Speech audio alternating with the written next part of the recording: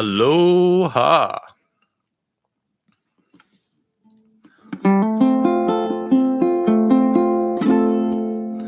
Good morning from Hawaii. Everybody who's tuning in. We live yet? Good morning from Hawaii. And the sound works. Awesome. Well, thank you folks for tuning in and joining me here today. I don't need those. Here to celebrate the release and the launch of my new video course, Hawaiian Songs for Ukulele. We're going to be taking a look at a tune called Maui Girl. Is one of my favorites. It's kind of an, an old song. Um, I did I did a version of it in my left hand technique course and and top version, but I wanted to revisit it and put it in a new key that a lot of people don't play in a lot. That's actually a really good key for the ukulele, something that sounds nice and fits in well. So we'll be having a look at that, not in any kind of rush. So if you guys have the time, please hang out and we'll just cruise through the song together, talk a little bit of story, maybe even I'll play a song or two. If you have any questions as we're going along, um, drop them in the chat. I've got the the PDF download um, pinned in the chat. It's also in the description if you want to have a look at that. If you're more advanced, I invite you to challenge yourself and try and just follow along Hawaiian style, which is just watching and listening and trying to figure out what's going on. And that's something that I kind of uh, emphasize in the course and in the songs that we learn. I'm Italian. I talk with my hands a lot, so I'm going to move my water further away. That's all I need is to spill water on my floor. All right. So I'm gonna just just so we have a reference, I'm gonna play through the song kind of how I normally play it when I'm performing. Just kind of go for it and sing it and maybe play a little instrumental just so you can get a, a feel for the song. Um, mm-hmm. and we'll start there and then we can talk about probably talk about how to play the melody next. We got Tennessee, London, North Cal, Vancouver, Awesome. Love to see the diversity of everybody tuning in from all over the place. Okay, so Maui Girl in the key of A. I'm a lefty too. One, two, three, four.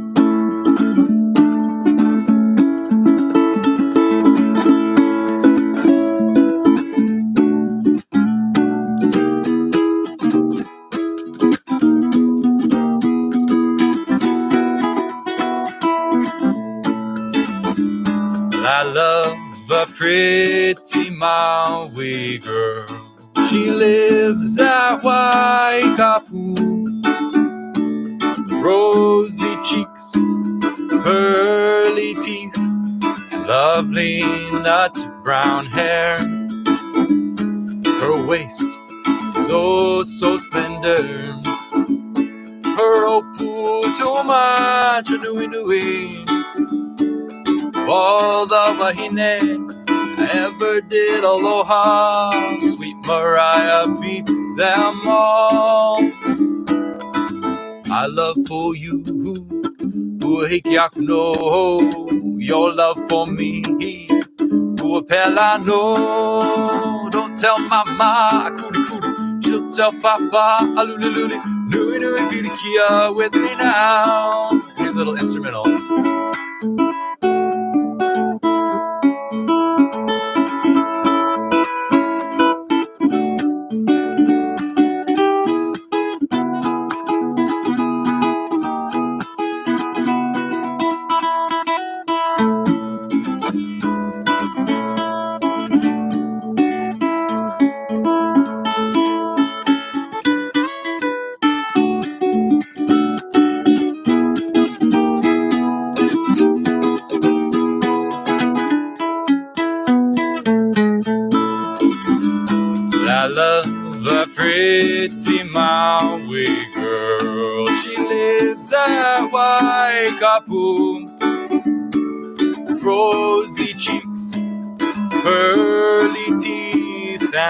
Lovely nut brown hair.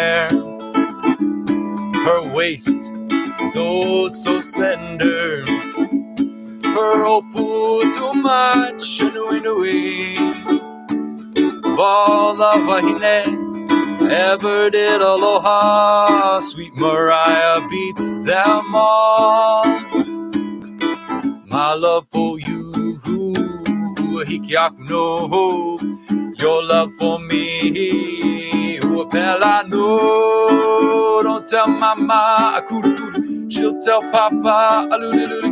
Nui nui pilikia with me now. Nui nui pilikia with me now. Nui nui pilikia with me now.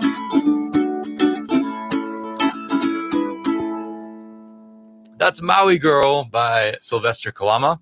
Thank you all so much for tuning in. Turn this guy down a little bit. I don't live stream probably nearly enough, so I don't know where to exactly position my ukulele. But thanks for checking this out. We're going to be learning the song today, going to walk through the melody and the chords and the strumming. Um, we'll talk for a second about the Hawaiian meanings that are in there, though it's pretty straightforward. Um, this is what's known as a hapa haole song, which is like in a Hawaiian style, but sung with mostly English lyrics. Um, in the course that we are celebrating, I should have brought a, a little party blower or something.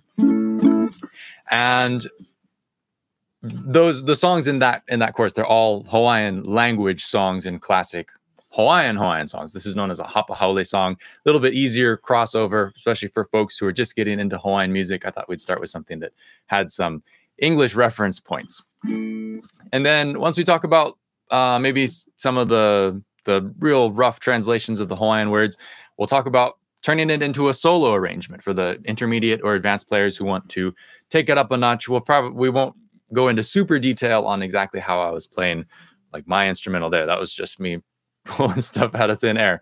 But but um, we will talk about the the approach and how you think about putting that all together. So buckle up and let's cruise for an hour or two here and have a look at the song. If you're so inclined to check out the new course, there's a link down in the stream description. And it's also right on the front page of liveukulele.com, my website. You can check it out. It's $10 off until tomorrow at midnight because this has been launch week as I'm sharing sharing it out there with everybody. After that, price goes up to the normal $50. Hey, hey, Dominator. Thanks for tuning in. And thanks everybody. We got Germany and Maryland and Florida, Austria, Pittsburgh, Maine, Australia, Belgium. This is great. This is great. Um, so let's dive in. Let's have a look at how to pick the melody for the beginning players out there or folks who maybe haven't tried playing melody before. It's not as scary as you think. And especially with a song like this, there's a lot of room to kind of bend the rules and interpret because what we're doing with the melody here is we're trying to emulate the singing. I just sang the song. And what we're going to do with the picking part is instead of singing it, we're just going to try and play what you sing on the ukulele.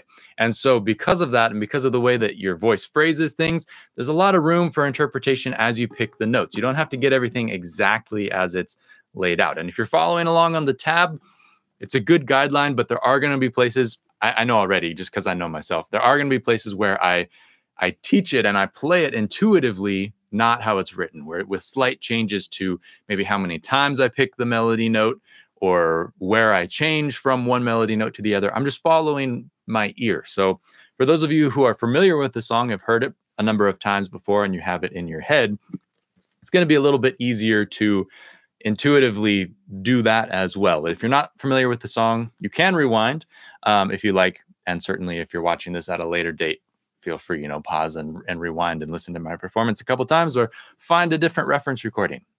But like I said before, we're in the key of A. And so maybe some of these notes and the frets that we're going to play on are a little bit, a little bit new um, for some of you folks. Not something that a lot of people get to, but we don't move around that much. It's a pretty straightforward melody. Okay, so we're going to start on the open E string.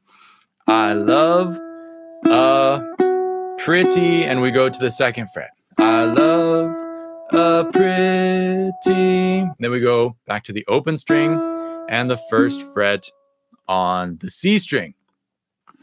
I love a pretty Maui. And then if you have a low G, you're going to go down to the second fret on the top string. If you have a high G, you can play this too, because the alternative for high G is you're going to cheat the note up an octave. It's not going to sound exactly in line with where you might expect it, but it's the same note. And this is the only place in the song, I believe, that this happens. And we have to cheat a little bit for the high G players. But I think it's worth it to play in this interesting key.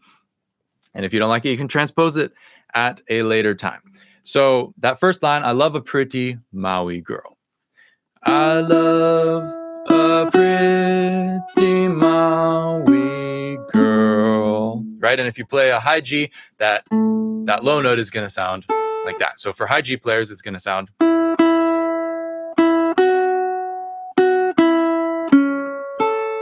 right? It's not, it still sounds musical. If you're familiar with the song, it might not sound exactly like you'd expect. But like I said, that's the only time in the song where we're going to need to kind of massage it a little bit. Okay. Main thing when you're playing this kind of a song, it's a fast song, which helps with the timing. A lot of times when you're playing faster, it's easier to feel like your timing is good and you're playing the notes in the right places. But it's also easy to tend to rush. So as you're playing the melody, you need to imagine that you're sitting on the bed of the rest of the song, but maybe somebody's playing a strumming ukulele part, maybe there's a bass player. And when you're playing through the melody, you want to be patient and make sure that you're giving each note its full value. So as I'm as I'm playing through, if I think about how fast I'm going to play, if my tempo is like this, I love a pretty Maui girl. I want to make sure that I'm trying to give each of those notes their full duration. A lot of times holding a note can seem kind of scary, but it's really the best thing for the music to make sure that you're actually keeping things in line.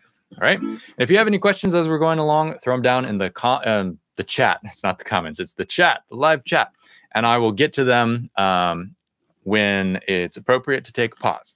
But let's move along to "She Lives at Waikapu." Now we're going to move down to the bottom string open for "She Lives," and we go to the fourth fret. Um, you play this with your pinky or your ring finger. Like a lot of times, if you're trying to stay one, two, three, four fingers and kind of hold with this general guideline of one finger per fret, you'll play it with your pinky finger.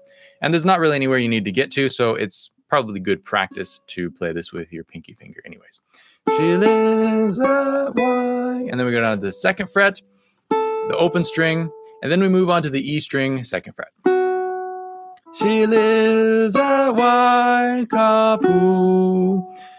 All right.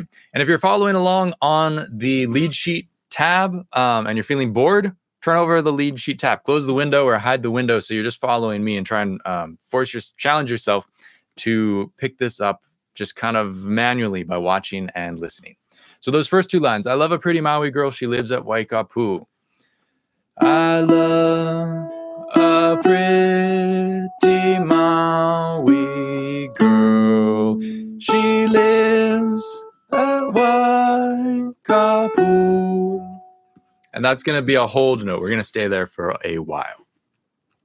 Um, as far as the timing goes, and in keeping with the the time and not rushing where you want to hold a note for longer, I find that it's really helpful to count in the spaces. When I'm playing, I don't tend to rush as much. If there's stuff going on, I tends to be fine. But when I want to know that I'm going to be coming in at the correct place the next time I need to play something after I've held for a while, a lot of times I'll count in my head. All right. So, for instance, the way that I have this song written out, it's kind of I I, I started to to tab it to transcribe it in double time of this. So everything was kind of eighth notes. And then I realized that no, when I count it, it's kind of at that 155 fast tempo. And so I decided to space everything out so we'd have a little bit more room as we were looking at it. But if we're counting one, two, three, I love two, three, a pretty two, three, we girl two, three, she lives. And it's kind of for this song, it's not as obvious and as needed because you're moving along kind of quickly. But a lot of times, if when you're not picking a note and there's a beat going by, it helps me at least to count the beat at least in my head, so that I know that there's something happening there and I'm not going to jump on the tendency to rush ahead. Okay. Now let's go to well, let's let's play through that that first line one more time. So one, two, three. I love a pretty Maui girl. Two, three. She lives. Kapu. Two, three, four. One, two, three. All right. And I should mention that the very first note we play, I, I love, is a pickup note. And what that means is you're going to borrow a little bit of time before the one beat. So if I'm counting one, two, three, four, one, we expect the one to be the hard count, to be the um, the note that gets the timing emphasis. But when you have a pickup, something happens before that. So in this case, we have a quarter note before we get to the first official one beat. So we're going to play that on the four. So it's going to be one, two, three.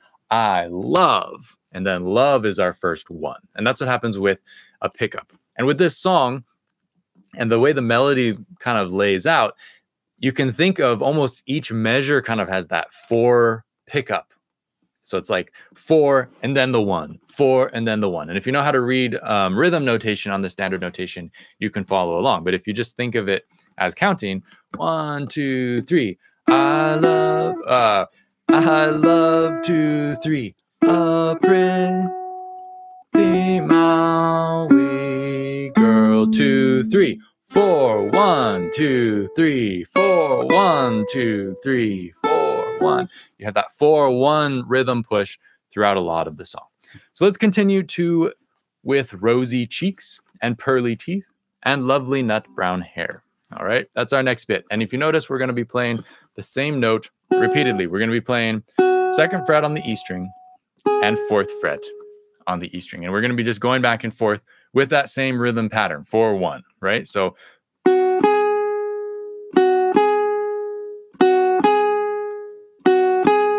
that's rosy cheeks and pearly teeth. With rosy cheeks and pearly teeth. And and that's our last second fret before we move to the open E string. Lovely. Second fret again, nut and then we swap down to the first fret on the C string, brown, and then open E string, hair. Okay, so all together, with rosy cheeks and pearly teeth and lovely nut brown hair. All right, and so this is the main first part of the song where I feel like what's written out doesn't quite and what I'm playing here doesn't quite capture what's happening in the song. If I'm jamming with rosy cheeks and pearly teeth and lovely nut brown hair, for the rosy cheeks part, there's a lot of vocal movement that's going on in there. And actually, when I was trying to figure out the song, it's one of those things. It's like, well, what note am I actually singing? And so I took kind of the closest approximation of this is mostly what's happening without making it terribly complex to look at. So, with this kind of a part, what you can do is you can play something that's not exactly what's written. And what I would tend to play is the chromatic movement to make it a little more bluesy, a little bit more out sounding as you're playing you could go instead of the second fret, maybe you play the second fret the first time with rosy cheeks, and you play the third fret instead. And this is not necessarily in the key of A, right? That's a G natural note. We're supposed to have a G sharp note, supposed to. And and by playing the G, we get kind of a bluesy sound because that's the flat seven of the key. We have A, G sharp, and then G. If we go down a whole step from that root, it's always going to be the flat seven note. So you can play that with rosy cheeks and pearly teeth and lovely nut brown hair. Lovely nut brown hair is a little bit more set. I feel like that is a um, better articulated part as it lands on the instrument. I feel confident that that's kind of how I sing it. But that other part, you can really move it around a bit. And so if, if like I'm playing a solo, this is kind of a tangent here, but if I'm playing a solo arrangement, a lot of times what I'll do is in order to capture the E that I'm playing, and I don't want to have the E sound because that's an E7 there as we're picking that melody. I play an E and I just kind of shimmy it down one fret and then back for that entire part to capture that whole thing. It's really simple. So with rosy cheeks and pearly teeth and lovely nut brown hair. That would be kind of how I would approach it. And so when you're picking the melody, you can do the same thing just by playing that third fret and fourth fret. All right. If you're just tuning in, if you're just joining us, um, feel free to throw questions in the comments, the in the chat. The pinned chat at the top has the download link if you want to look at the transcription. Otherwise, just follow along. We're doing things kind of Hawaiian style today. Let's move on to uh, well, let's play from the top and then we'll move on to her waist is also slender, right? And the reason I'm kind of belaboring the melody here and showing it to you slow is because with with the course Hawaiian songs for ukulele um, that is launching this week, you get ten dollars off if you go to the link in the description until tomorrow at midnight.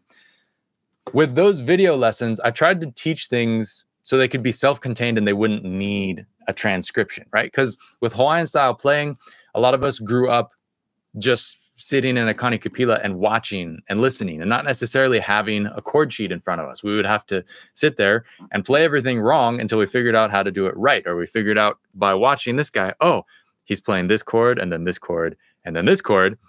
Now you just, it's a different kind of relationship you have with the music because you're really engaged with the visual aspect of watching people and also listening. Whereas when you're looking at the page, you're only interpreting right? You're interpreting what's on the page and then you have to create it here.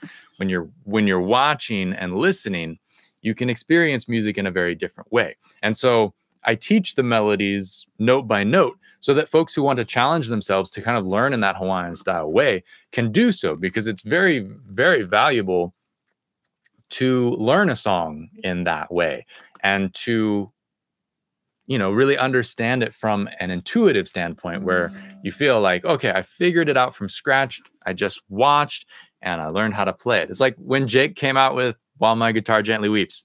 There were no tabs when that happened. We had to sit there and watch the video rewind the video watch the video listen see what was happening. And if you recall the video was kind of bad quality. It was a really low resolution so you couldn't see super clearly what he was doing.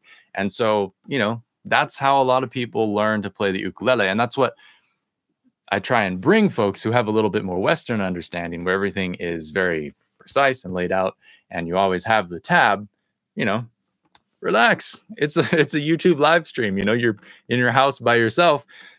Play it and just try it and see if it if you can figure it out because you're not going to break anything by doing so. And especially with the technology that we have, and you can replay the videos or play with along with the backing tracks, there's time to just experience this yourself and really slow down and get into the song. So that's why I'm taking my time here.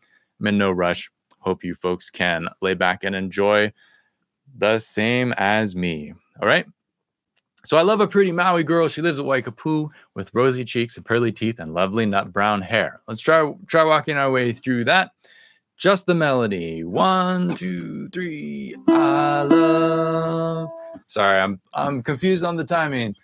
Dun, dun, because I'm I'm usually feeling it in double time. Mm-hmm.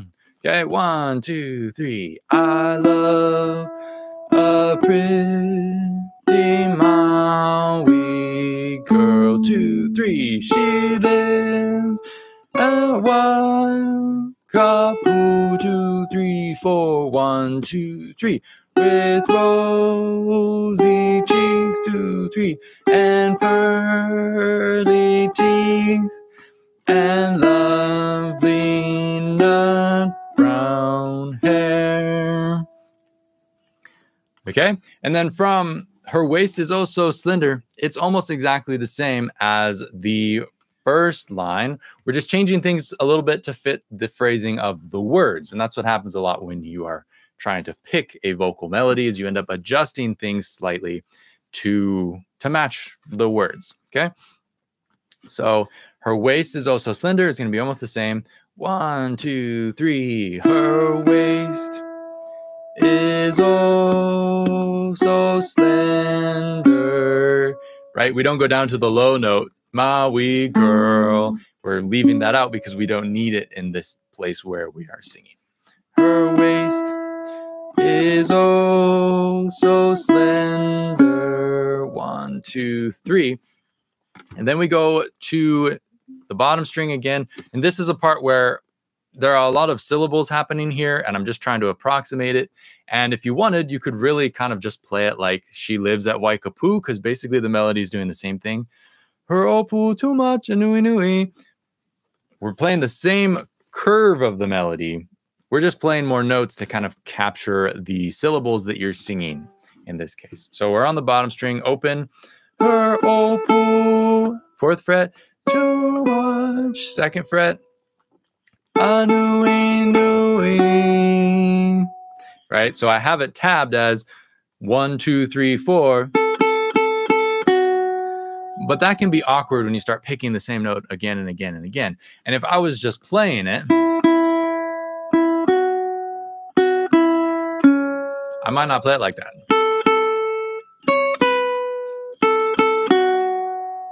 Right? I kind of approximate it and get it close because at the end of the day, you're just trying to capture the melody. You're not trying to completely copy it exactly because it is a different thing. You're just trying to get the gist of it on the instrument. All right. Okay. And then let's get to the end of this page. This is the A part. This first page is the A part. Of all the wahine, we're going to do a similar ish thing to what we did before with Rosy Cheeks, where we were toggling back and forth from the second fret to the fourth fret on the E string. But in this situation, we are playing uh, more notes because we have more syllables again. Okay, so of all the wahine I ever did aloha. And then open string, sweet Mariah, two, four, A string. Okay, so let's try from her waist is oh so slender because that's kind of where we start with a, a new time around. Okay, one, two, three.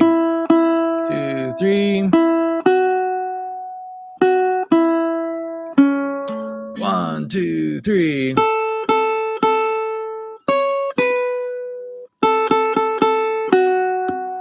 One, two, three.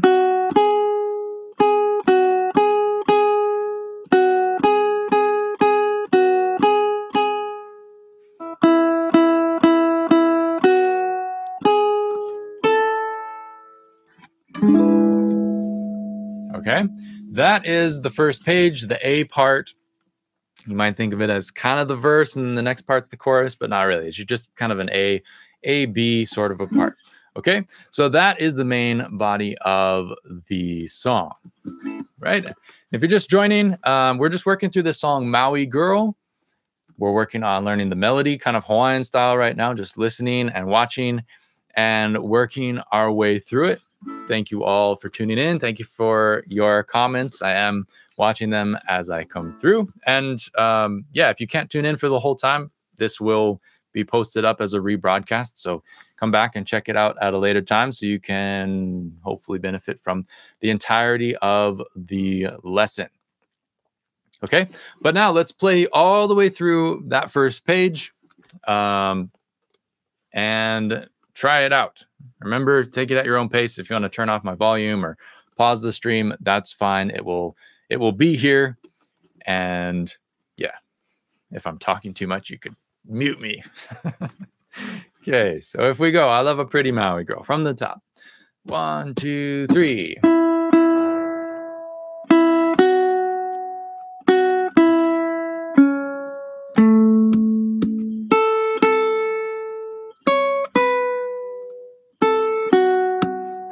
Four, one, two, three.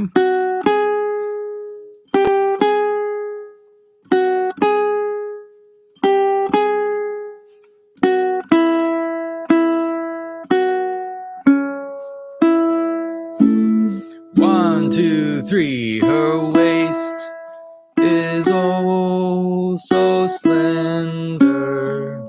Her opu, her opu too much. One, two, three. Of all the wahine I ever did. Aloha, sweet Mariah beats them all. All right, that is the first page. If you have any questions, throw them in the chat and I will answer them. Good news is that the next part is shorter, it's less bars, but there are more notes and it's a little bit more interpretive, okay? Because as as we go through it, let me let me play this B part singing it wise so you have a, a reference for what we're going to be doing. Um, but it's a little bit more more more rhythmic and things going on. I don't know what I don't know what that means. Um, but let's let's try. So one, two, three, four. My love for you, no. Your love for me, no. Don't tell mama, kuli kuli. She'll tell papa, aluli luli. Nui nui pilikia with me now.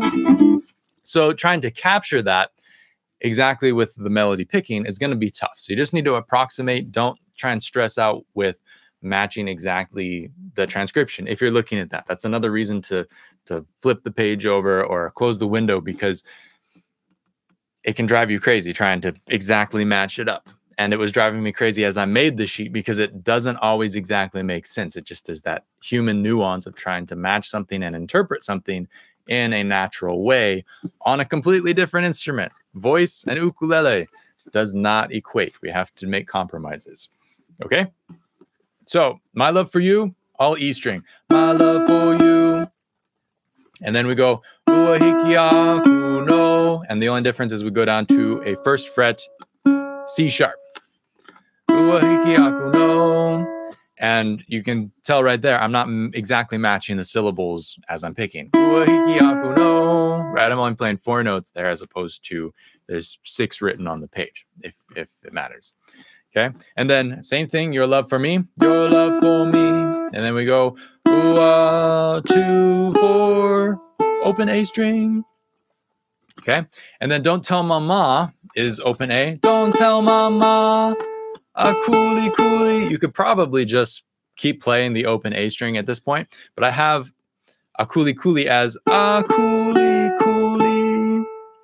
So it's one, two, and then second fret on the E string, and then one, two again, all on the open A, right? A, second fret E string, A. But that makes it kind of complicated, and that's not the idea here. Is we don't want it to be complicated. So if you want, just don't tell mama, kuli kuli, she'll tell papa, and then you can play the last the last line there. Okay, but she'll tell papa, luli luli is the exact same thing, just in a different spot over a different chord, which we will talk about in the solo arrangement as we get into it. The last line, nui nui pilikia, um, second fret, nui nui, open, fourth fret, kia, and then A string with me, second fret, now. And then for that last one, the way that it's sung is a little bit late, so I put I put the second fret to open string pull off. Um, if you want to play that, if not, you can just. But the pull off kind of smears it together.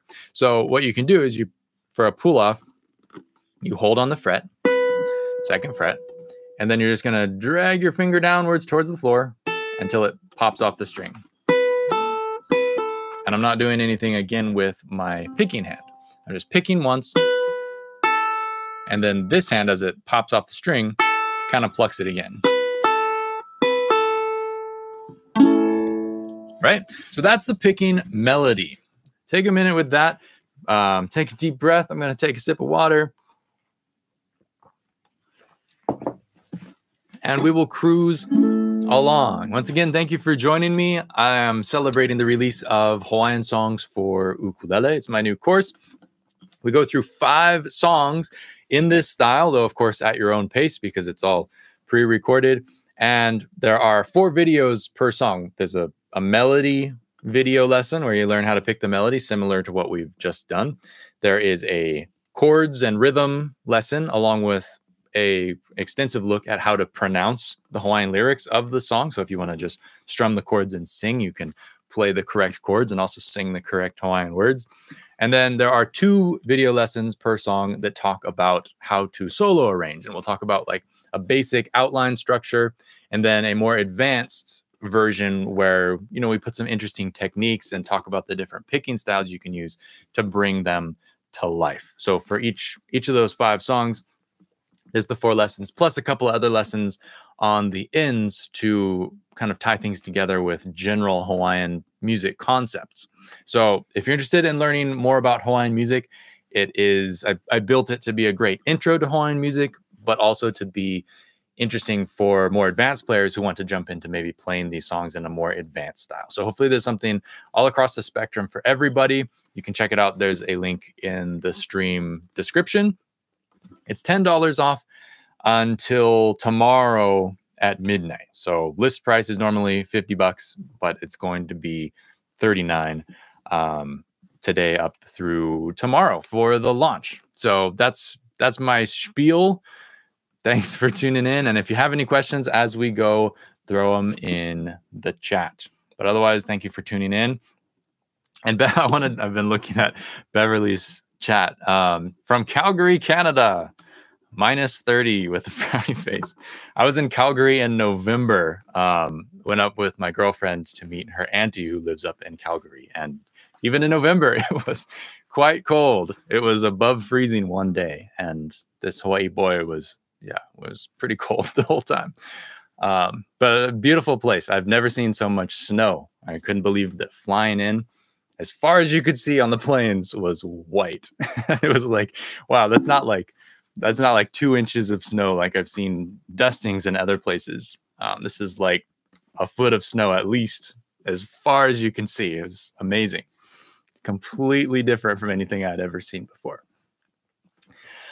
Okay, so let's move on now to talk about the chords of the song. Um, this is this is the point where it's going to be a little bit more simple, apparently. But what I like to do, especially when teaching in this slower Hawaiian style, trying to help you kind of understand things and realize things organically and intuitively, is to talk about the timings of the chords as they relate to what's happening in the song. So that as you're going if you can hold a beat and you can like feel the beat of the song you can know where the chord changes are. Even if you don't have a chord sheet in front of you you can just get a feel for okay it's going to be this long until we change chords and it's going to be this chord.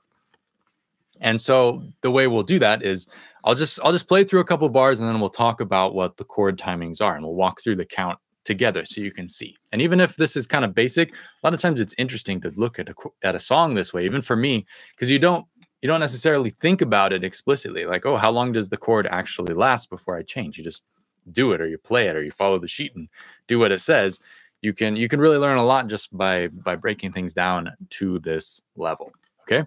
So the first bit i love a pretty maui girl. She lives at waikapu. With rosy cheeks pearly teeth, and lovely nut brown hair. Okay, we'll go to there and then we'll talk about what's happening. So, especially when we have kind of the extended chord holds, it's nice to have to run through the bars in your head so you don't get lost of what's happening, especially if like you're trying to hold down the rhythm and somebody else is maybe playing a solo like like when I'm playing in my group, I'll play the chords and our slack key guitar player will play a solo. I have to keep track of how the song goes without singing it, right? The singing a lot of times is a nice reference point, but you got to be able to also know know the actual timings of the chords. Okay, so we have one bar of A, and our count is one, two, three, four. So it's a little bit fast, but we're gonna have A, one, two, three, four, and then D, one, two, three, four, and then back to A for four bars. One, two, three, four, two, two, three, four, three, two, three, four, four, two, three, four and then back to D. Now for two bars. One, two, three, four, two, two, three, four. Okay. So that all together. Um, now that you kind of know what timing to look for, have have a listen. I love a pretty Maui girl. She lives at Waikapu. One, two, three with roll. And then we're going to move to E7. And E7, we're holding on for a long time. We have one, two, three, four, five, six bars of E7 that we're staying on. With rosy cheeks, pearly teeth, and lovely nut brown hair before we go back to the A. So as you're on the E7, it's going to be one, two, three, four, two, two, three, four, three, two, three, four, four, two, three, four, five, two, three, four, six, two, three, four, A. And so that's that's a long time. But if you count, and especially if you can, it took me a long time to figure it out. But if you can count in that style where you're you're counting one, two, three, four, two, two, three, four, three, you can kind of you keep the timer in your head and you and you're doing the count and instead of just one two three four one two three four one two three four i forgot what bar we're on you can you can um, increase the number at the beginning each time if you can in your head and that will help you stay on track of knowing how long you need to be on that on that chord right because if i'm just playing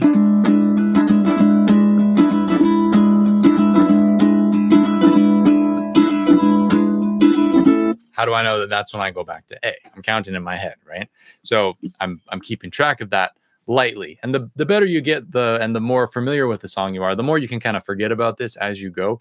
But especially as you're learning, you want to make sure that you're giving the proper space because it's one thing to drop a beat or to move a note around it's another thing to drop an entire bar because then then all of a sudden you're like losing whole words and whole parts of the the meaning of the song Okay.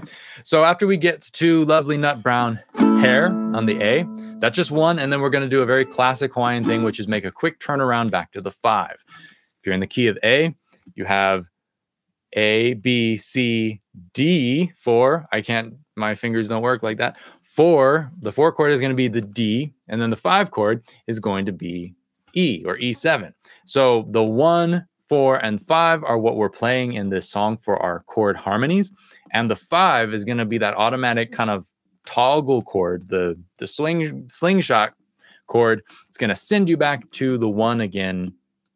And that's kind of a classic Hawaiian thing is that quick move back to the five. So lovely nut brown hair, two, three, four, one, two, three, four. And then we go back to A, right? It's just a little a quick one bar movement to the E7 and back to the A. And then for the rest of that page, the chord timing is going to be exactly the same. So we have one, two, three, four, D, two, three, four, A, two, three, four, two, two, three, four, three, two, three, four, four, two, three, four, D, two, three, four, two, two, three, and then E seven, two, three, four, two, two, three, four, three, two, three, four, four, two, three, four, five, two, three, four, six, two, three, four, A and then we turn around on the E7 once again, right? So that's the progression. That is kind of the outline and the bones of the harmony in the rest of the song. And once you kind of understand it as a structure, you can kind of kind of um, start to to see how all these parts line up because they're these individual things. We talked about how to play the melody. Now we're talking about how to play the chords, but they all move along at the same pace in the same space and they all need to make sure that they're you know that anytime you check their alignment down the road that they are aligned as opposed to oh i dropped the bar so this is off. You got to make sure that all the parts are happening um, consistently across the song. All right so the b part it starts on a for two bars and then we're going to E7, right? The instead of following the same progression again, we're changing the progression because this is a different part of the song. We're playing a different melody, we're expressing a different kind of a feel. We're going to use different chords to do this. All right. So we're gonna have my love for you. Uh, let me let me just play this B part so you have have it in your head, and then we'll talk about breaking it down. My love for you, your love for me. Uapela know. Don't tell mama, akulu kulu. She'll tell papa, alulululi. Nui nui pilikia with me now. All right. A little bit more straightforward. We're not going to stay on anything quite as long, but there are a couple funky, funky timing things because we're playing. Usually, you play things in chunks of two or three, two or four or eight those kind of even even chunks. But in this case, we have a, a five and a three to equal eight. And so we're moving the chord in the middle a little bit. So to start, we're playing on A for two bars. My love for you. And then E7. Your love for me. Okay, so from the A, we're going to have one, two, three, four, two, two, three, four, E7, two, three, four, two, two, three, four, three, two, three, four, four, two, three, four, five, two, three, four, A. Okay, and then from there we have the the three A bars. That's the five and the three combination there. So, um, no, don't tell mama, kuli kuli. So one, two, three, four, one, two, one, two, three, four. D, one, two, three, four, one, two, three, four. That only gets two bars. And then we go to E7, two bars, one, two, three, four, A, two, three, and then we turn around on E7. And I know that this can seem like a lot of like chords and information, just like over overload trying to think about this but really once you once you play through it a couple times and you kind of see how it's going and know what is where makes it a lot more straightforward. And granted this is not the easiest song to be trying to think of a chord progression in, from a rhythmic sense like how many how many bars of each chord you're playing because it changes. It would be a lot easier to do this with um, a strophic song which is just verse verse verse so it's going to be the same every single time. And a lot of times with the old school Hawaiian strophic songs, a couple of which we talk about in the course, like um, Nani Ka'ala and Aloha Kamanini, it's the same chord progression over and over and over again. So you get really familiar with it without needing to spend a bunch of time memorizing the progression. Whereas this one, it's it's a little bit different in that B part. Okay, so altogether, my love for you, I'll count the whole thing and we'll um and call out the chords as we go. So for counting in one, two, three, four, A, two, three, four, two, two, three, four, E7, two, three, four, two, two, three, four, three, two, three, four, four, two, three, four, five, two, three, four, one, two, three, four, two, two, three, four, three, two, three, four, D, two, three, four, two, two, three, four, E7, two, three, four, two, two, three, four, A, two, three, four, E7, two, three, four. Right? So that is the chord progression. Um, what I would like to talk about though, and I know what a lot of people always ask about is what's the strumming pattern? And the answer is always, I don't know. Nobody knows. It cracks me up when people like teach the strumming pattern to a song because that's just one interpretation, right? That's one person's way of how they played the song.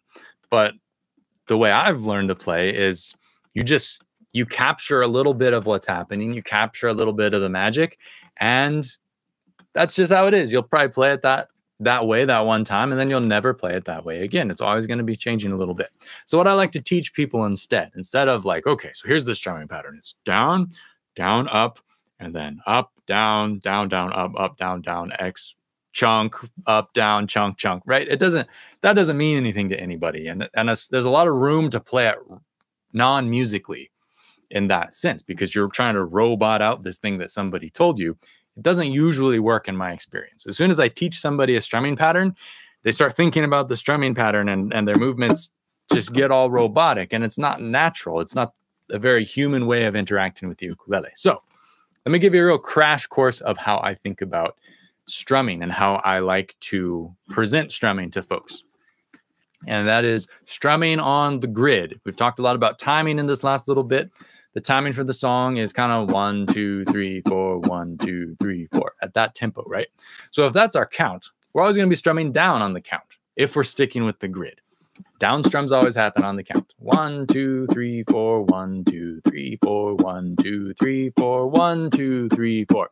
You'll notice that in order to strum down, I have to strum upwards in the middle, right? So down, my hand has to go up. There's there's no there's no conveyor belt of extra hands that are coming around to, to play those down strums. I have to move my hand upwards.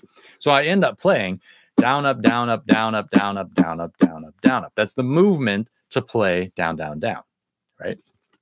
So when I'm playing on the grid, my hand is never deviating from this. down, up, down, up, down, up, down, up, down, up, down, up. Okay. If I was to add the middle strum, the upward strum, down, up, down, up, down, up, down, up, down, up, down, up, that is kind of more of the grid, right? And all it is is eighth notes. And you can get away with playing a lot of songs just with eighth notes. There's not really much more to be done. You might play a triplet here and there or a 16th note here and there, but that's an exception and you can break out of what you're doing as long as the rest of your rhythm is steady. If you don't got this, one and two and three and four and one and two and three and four and you shouldn't be trying to play anything fancy right? This is most important because you can play 98% of stuff just with down up down up down up down up on the grid. Because here's what makes the strums interesting is you're going to remove parts of the strum. You're not going to stop the motion but you're going to take your hand away from the string so that you are physically moving your hand around the strings to miss a certain down strum or a certain up strum. But your hand's still doing this the whole time. I'm just ghost strumming, right? I can go one and two and three and four and one and two and three and four and my hand's making the same motion whether I play or not. One and two and three and four and one and two and three and four and one and two and three and four and one and two and three and four and. It's the same same movement. And I apologize if my audio is a little bit out of sync. I'm trying something new so the audio sounds better. But the other day when I checked, it was a little bit out. So this faster stuff might be a little, little bit off. Um, but let me let me try it slow so you can really, really not miss it. Okay. So if we're if we're counting slower, one and two and three and four and same thing. And two and three and four and one and two and three and four, and you can play every other one. You can create exercises for yourself so you get used to missing certain parts of the strum. Let's try that. Okay, so let's play. Let's just start with, if you want to follow along, we'll start with just the basic grid, which is down, up, down, up, down, up, down, up. One and two and three and four and one and two, and three, and four. And you should try and be able to do this until the cows come home. Do this in your sleep and stay on track. One and two and three and four and one and two and three and four and okay. So the trick is missing, missing intentionally. So let's practice. We'll play, we'll strum on one and, which is your down up for one, and then we'll skip two and, We'll strum, and by skip, I mean you're going to move your hand outwards away from the ukulele so that it's just a ghost strum. Your hand keeps moving. Your hand keeps moving. If your hand doesn't keep moving, it's easy to start roboting because you try and compensate and play the notes that you want, and then everything's off. If you keep your hand moving with the music, you can't play something that's out of time. It's impossible. Keep it moving with the music, you're always going to be in time. Okay, so we'll play on one and three and one and two and three and four and one and two and three and four and one and two and three and four and one and two and three and four and and two and three and four and one and two and three and four and one and two and three and four and one and two and three and four and right? That's a way to practice kind of putting it in gear and then pulling it out of gear and putting it in gear and pulling it out of gear. And your hand's going to keep moving the whole time. So, what does this have to do with Maui Girl? Well, the first thing that it tells us is that if we're playing, if your tempo is, I love a pretty Maui girl, that's your downbeat one, two, three, four, one, two, three, four. That tells you how fast your grid is. So my grid's going to be moving one, two, three, four, one, two, three, four, one, two, three, four, one, two, three, four. It's kind of fast, but that's that's the song. It's a fast song. It's a rousing song. Okay, so that's that tells you that this is going to be your hand motion as you're playing the song. I love a pretty.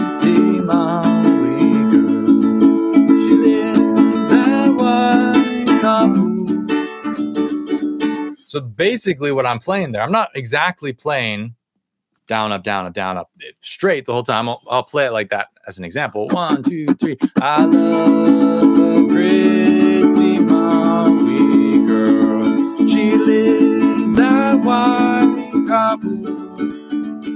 It sounds a little flat because there's not much interest. There's not accents. There's not movement. I'm not leaving things out because what leaving things out does is it creates dynamics. If you have silence and a loud strum, you have a difference between them. and the difference is the dynamics that you're imparting in the song. If everything's loud, you can't go up, right? You can't have more excitement in the song. But if you go quiet or silent for a minute, it kind of swings things so that when you go back to loud, it's like, oh, just a little piques your interest just a little bit by being loud again. All right. So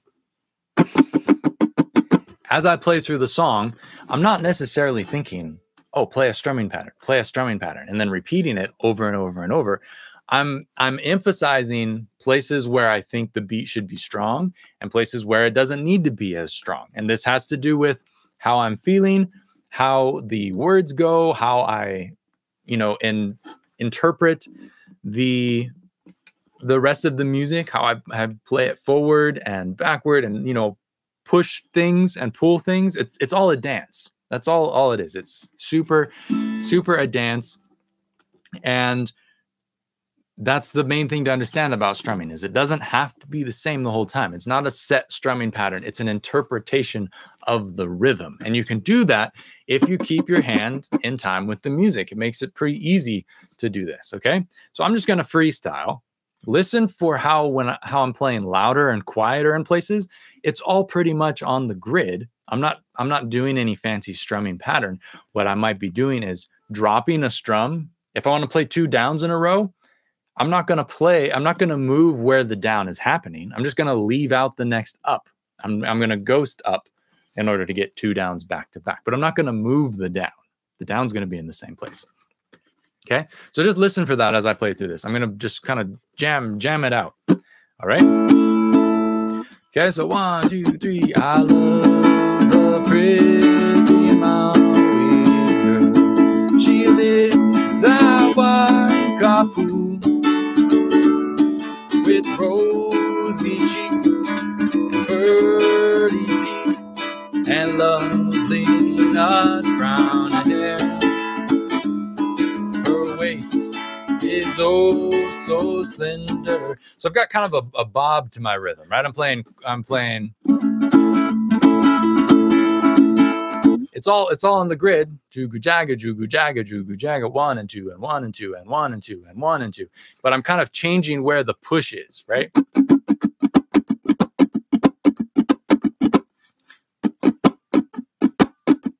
Right, and I'm kind of swinging this. This song kind of lives between between a swing and a straight. It's slightly slightly swinging the way that I play it here, um, but that's that's really all that's happening with a with a strumming. If somebody tells you that a song needs a specific strumming pattern, approach their advice with high skepticism. That's what I say. Because really, it's just an interpretation. And if you keep your hand moving with the rhythm of the song, you're going to be in really good shape for playing the strum. So I'm not going to necessarily teach you a specific strum for this song, but by practicing one two and three and four and one two and three and four and and accenting certain notes what you can do is you can play the x chord just mute mute the strings and practice accenting certain parts right one and two and three and four and one and two and three and four and one and two and three and four and one and two and three and four and one and two and three and four and one and two and three and four and one and two and three and four, right? You can move an accent around so that you get used to playing accents in all the places available to you on the grid. And then when you go and you're playing a song and it's like, oh, it kind of kind of pushes here. I feel like I want to emphasize this spot. You can because it'll be in your toolbox of playing a little bit harder here. The other thing that to do is to do the same thing, but instead of accenting, you practice removing a strum. You take it out of the grid. Right? So if I'm if I'm playing one and two and three and four and one and two and three and four and one and two and three and four and one and two and three and and one and two and three and that kind of a thing, that's not a super good example because I haven't done that exercise explicitly in a while. But you can you can practice rotating that so you get used to leaving things out. Um, I won't I won't go into super detail in this. I've I've talked about this at some point in another video, I think. Um, but what you can do, and this is a fun thing to do with a group of people, especially when I'm teaching, I try and try and get everybody playing along these lines, is you pick three or four random numbers from eight. From one to eight, you pick three or four random numbers and you line those up with the eighth notes of the grid. Right. And so those random numbers are going to give you specific places to play. And you're going to play with your grid. You're going to move your hand, but you're only going to sound a strum where those random numbers occur. So you can force yourself to generate random strumming patterns. And if you get used to doing that, um, I find that it's nice to have two even numbers and two odd numbers because the the odd numbers are going to be the downbeat, right? One lands on one, and the and is going to be the upbeat. So if you have a mix of them, you're forcing yourself to play on beats and off beats, down, up, right? And so that's super good practice. That's that's incredible homework practice. If you want something to take away from this and improve your strumming, is to pick those random numbers and then assign them to their spot in the grid of eighth notes. You can practice that, and it will. That's basically all the strumming patterns you need to know.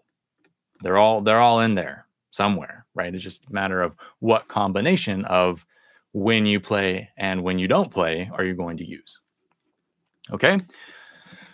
Whew. So, if you're just joining in, thank you so much. Um, I'm I'm watching the the chat roll by as people are posting stuff up. If you have any questions, throw it in there. Um, the PDF download is pinned to the top of the chat. It's also in the description if you want to download the handout and follow along. That's cool. Um, if not, just use your ears because, especially this next part, we're going to talk about solo arranging. There's not going to be as much to gain from looking at the sheet. We're going to be running off of what we've learned separately already, which is how to pick the melody, how to play the chords, and how we bring them together to create a solo arrangement. Right. And the purpose of this live stream is I'm just kind of celebrating my new video course, Hawaiian Songs for Ukulele. It's five Hawaiian songs explained and taught from kind of three different vantage points. We learn how to play the melody, we learn how to play the chords and pronounce the Hawaiian words, which is super important when playing Hawaiian songs, and how to play two versions of a solo arrangement. We talk about the basic version, which we'll probably spend most of our time doing here, and then kind of a more advanced version for advanced players who want to learn picking styles and whatever. There's a link in the description. You can check it out um, and get yourself those lessons if you're so inclined. If you want to learn Hawaiian music, it's a great place to jump in and I try and teach things and share share from a Hawaiian style kind of east meets west background of how I learned to play, which was very much just watch and learn and follow along, and how a lot of my students like to think, which is where's the page? I want to see the page. I want to do it exactly how you tell me to do it.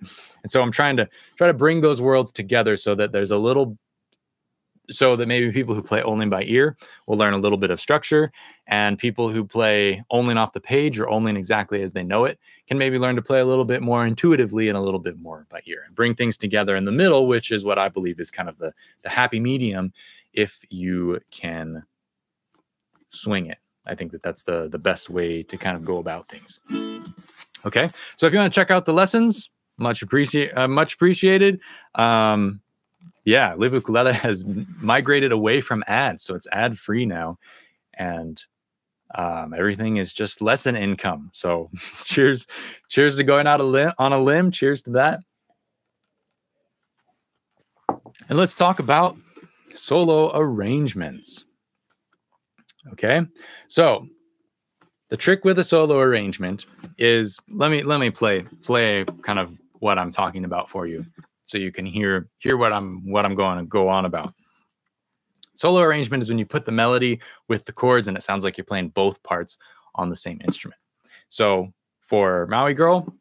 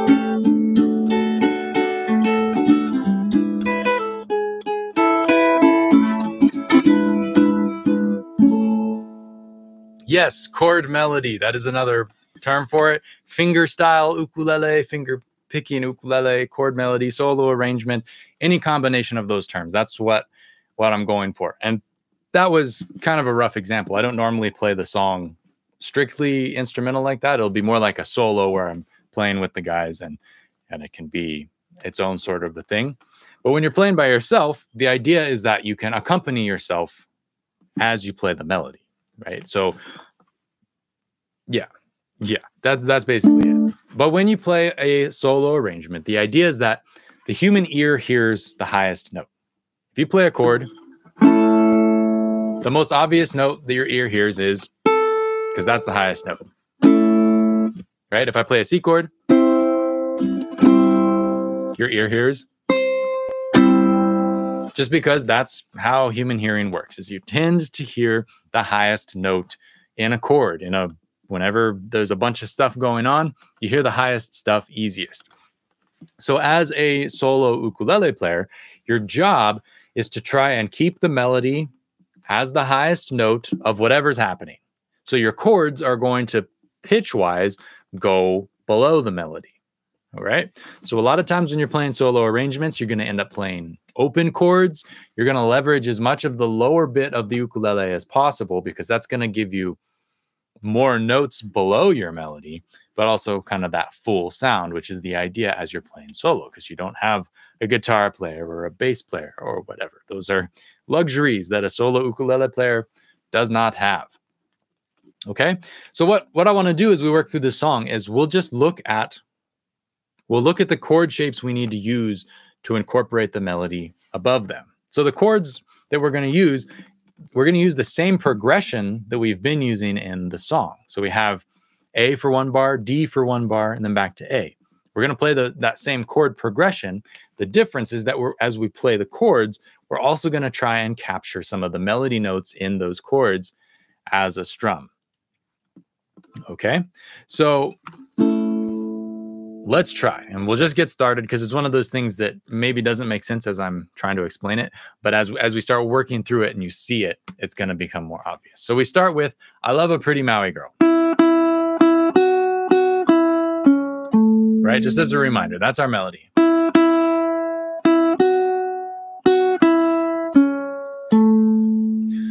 We're going to be playing over an A to get started for I love and uh. If I wanted to play love uh with the A chord, I would need to figure out a way to play A, but also keep the E note as my highest sounding note.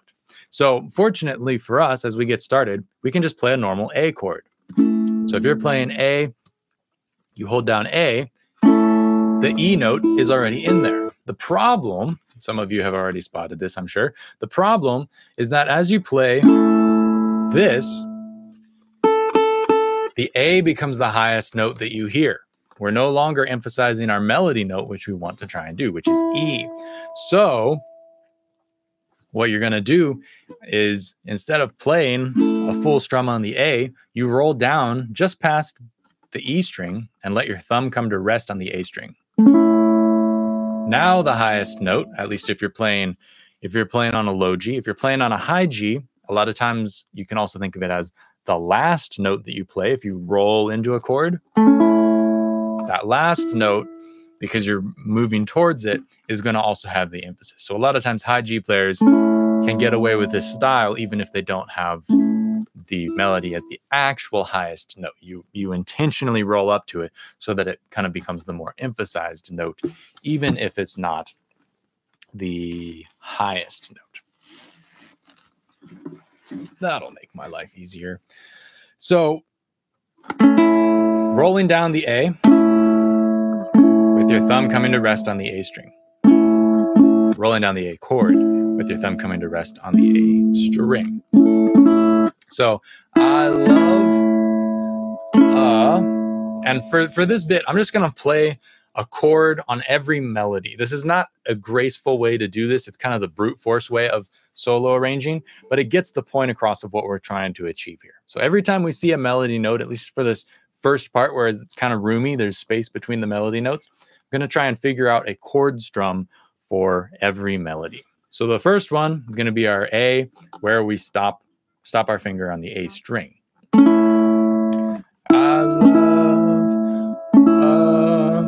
and then we're going to switch to D. So we need to hold a D chord and see where our melody lands, if it's even in the chord. Okay. And in this case, if you hold a normal D, I tend to do the bar. You can also do the, the two finger partial bar or full three fingers if you like, whatever way is comfortable for you. Um, for pretty, we're going to have the second fret on the E string as our lead melody note with the D. So once again, your thumb's going to come to rest on the A string. So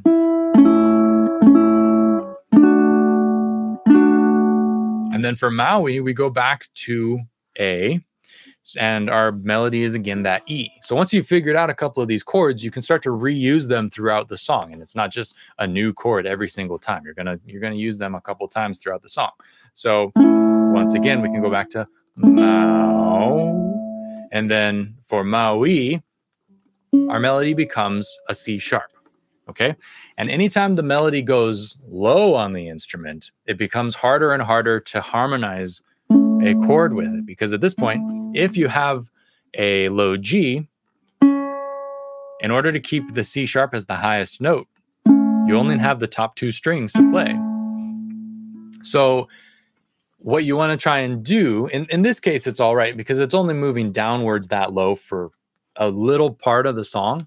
But in general, when you're arranging, you want to try and keep the melody notes on the E string and the A string as much as possible. Preferably, you want to keep them kind of on the A string because otherwise you you don't have a lot of room to mm. harmonize below the note and keep the ah. melody as as the highest. So a lot of times you would transpose to a different key in order to kind of fit the window of the ideal solo arrangement range on the ukulele.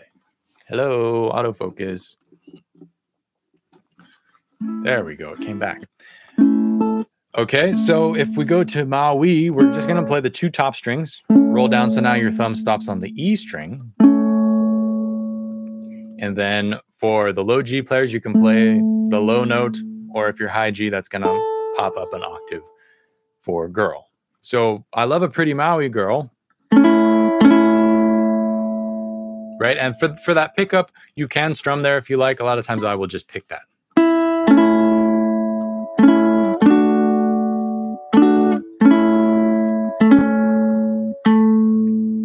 right? And so that last note feels kind of bald after playing chord strums. That's why you would a lot of times transpose other songs up. But in this case, it's going to be all right because we're just staying there for a little moment. Okay. Now we move on to She Lives. That's an open A string over an A chord. So what you can do is you just play a full A because the full A chord contains the A string as the highest note on the bottom string. Okay.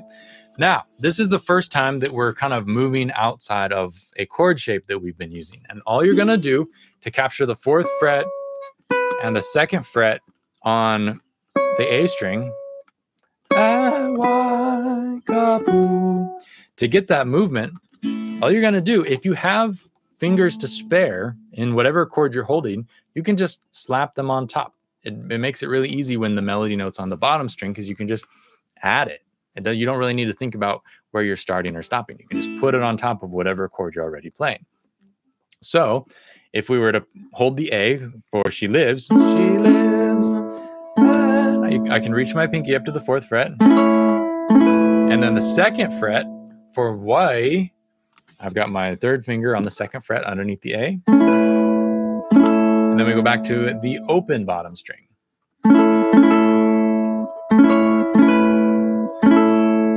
And then for Waikapu, we're moving over a D chord again. So we're going to change our shape.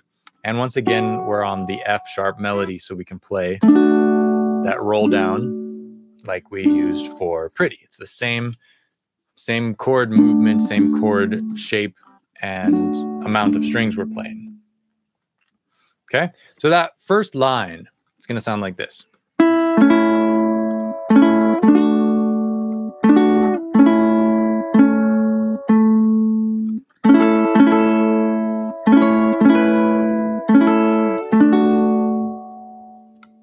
Okay, and then from there, we're going to go with rosy cheeks into E7. Okay, and so for this, we have to figure out what what our game plan is here because we need to capture the fourth fret G sharp note.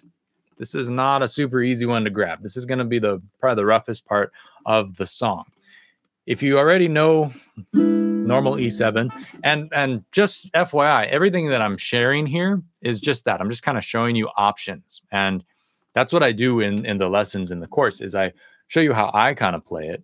But at the end of the day, I try not to give explicit directions for exactly how to play. I just kind of show you the idea, how I do it, and walk you through that. And then you can make your own choices of how you want to express the song. So same kind of thing here. That is what what I'm trying to recreate is like a a casual, rough version in my messy bedroom of the course lessons. The course lessons are filmed on real cameras with two shots in my nice studio setup with nice lighting and everything. So this is this is the casual version, but the teaching idea is sort of the same of how we work through, you know, the the style of teaching and, and the approach for each of these sections, whether it be melody, strumming, rhythm, or the solo arrangement. Okay, so for this for this part with rosy cheeks and pearly teeth, there's going to be a lot of interpretation happening here because there's several ways you can do it. You could start, you can hold your normal E7 chord, one, two, zero, two, and in order to get the melody, you could reach your pinky up to the fourth fret and then stop your thumb on the A string. That would be one one option, and then you can add your ring finger on the second fret. So as we play through.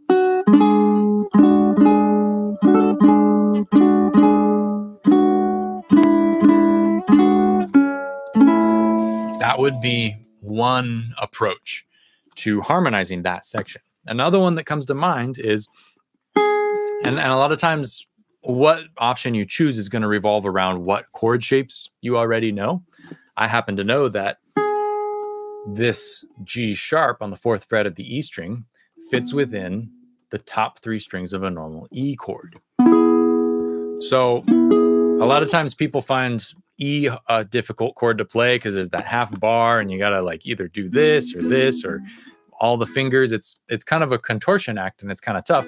But in this case, we're playing a solo arrangement. We want the G sharp to be the highest note. So we don't need to play it like this. You can play it with your first finger just as a bar and your thumb comes to rest on the A string. Okay. And so from here, you could either play it like this, then to get the second fret, maybe, maybe you would end up playing it, you know, because you're going to need, in order to continue holding other parts of an E7, you're going to end up holding these two top notes from that shape and maybe moving your index finger down to the second fret. That would be one way to keep the harmony going for that entire line. But something I talked about earlier, I kind of touched on, is that with this bar and with the flexibility of adjusting the melody to kind of be a little bit more loose. It doesn't have to be exactly as it's written or exactly as we think it, it needs to be. We can make it a little more bluesy by instead of playing the second fret for with rosy cheeks and pearly teeth, you could play the third fret.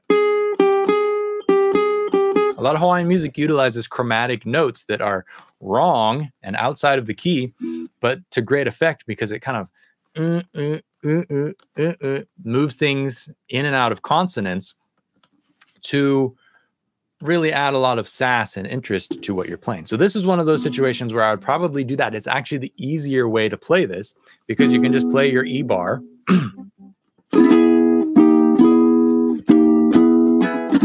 you can even add a little strum for this part because you kind of have have a groove going as long as you're kind of muting that bottom string as you hold the E thing. And right? So with rosy cheeks and pearly teeth and lovely. And then for lovely, you'd go back to your normal E7 shape, or I would, because it gives you an automatic open E melody note. And then for brown, brown is kind of an awkward note with E7 and A, it's kind of low, so there's not a lot to harmonize with. If you were to harmonize below it, you'd have to use a note from an E7 chord. So it's either going to be the G sharp down here or the B here. That's kind of gross. So what what I might do is in that certain spot, I might just pick the melody and not try and play a chord around it. So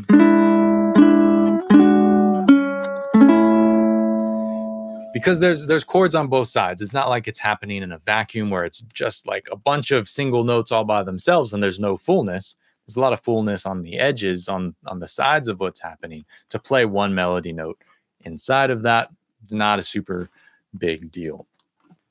Okay? And then we go back to an A. Okay? So from from the beginning, from the beginning, let's try and play through that, or I'll play through it, kind of how we've talked about. Follow along as you will. So from the top,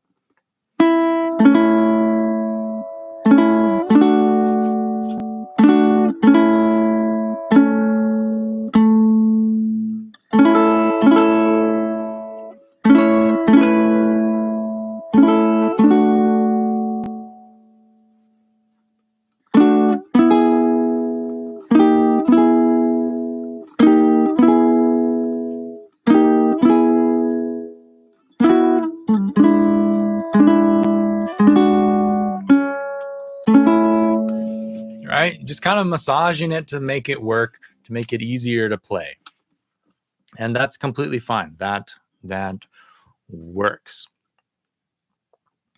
Um, Banjo Lynn asks, can we use E7 with the second position, which is this bar E we're talking about here, and the F sharp note on the C string, sixth fret?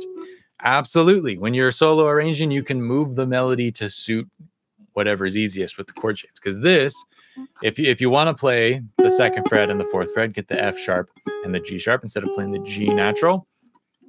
Instead of playing this, which is kind of awkward, um, they're talking about playing. And and in that situation, when you when you're using a higher note like that, it might not lend itself to I mean, it kind of it kind of works.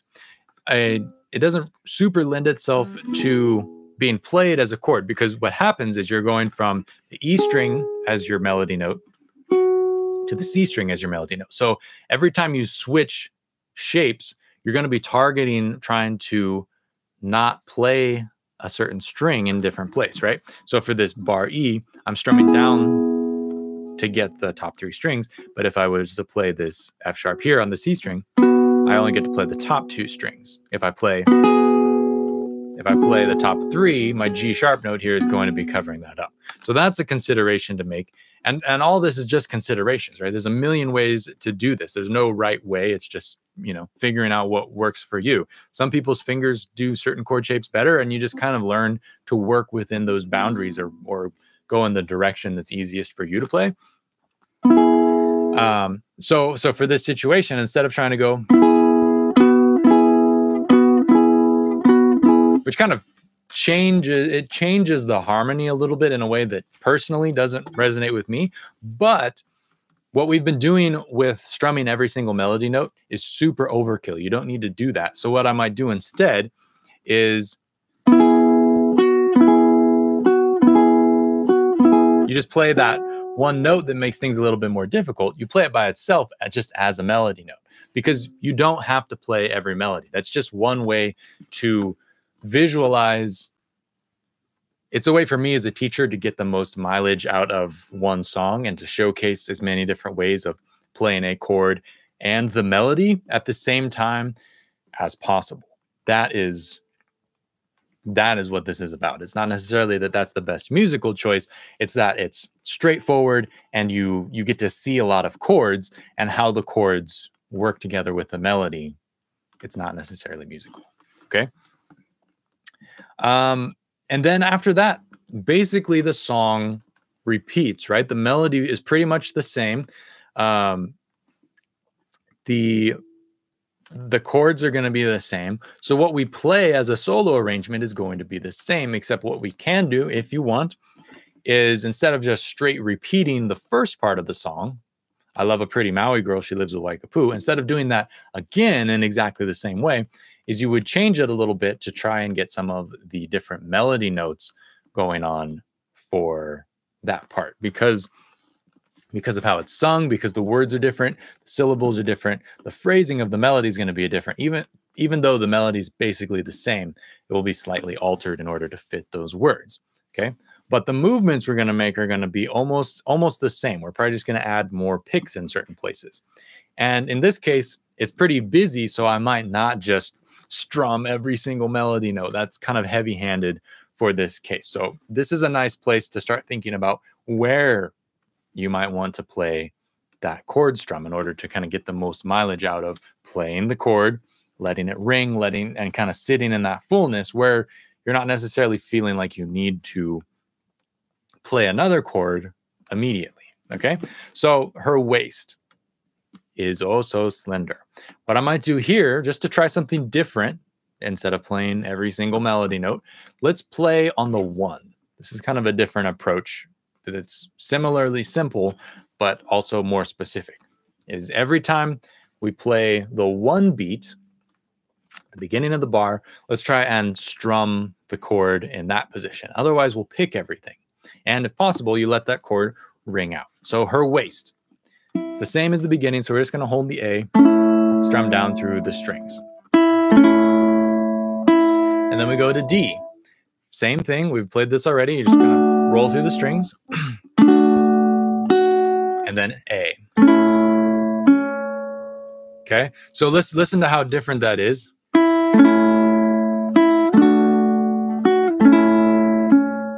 As opposed to playing everything.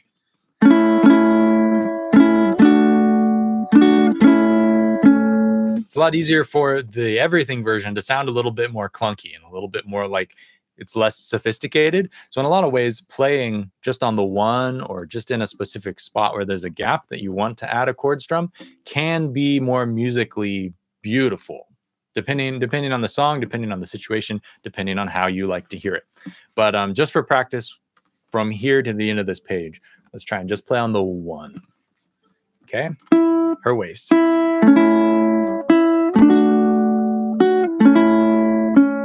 And then we don't have a melody note on the one of measure 20 here over the A, right? It's it's empty. You just have one, two, three, her oh poo before before you jump in with the melody.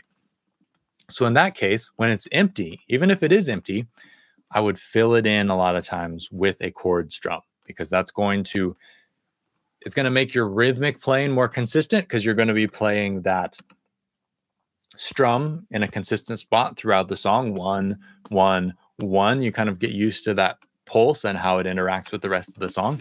But also by playing a chord strum you can change roles for a moment, become the rhythm ukulele player, fill that little gap, and it's never never going to be confused.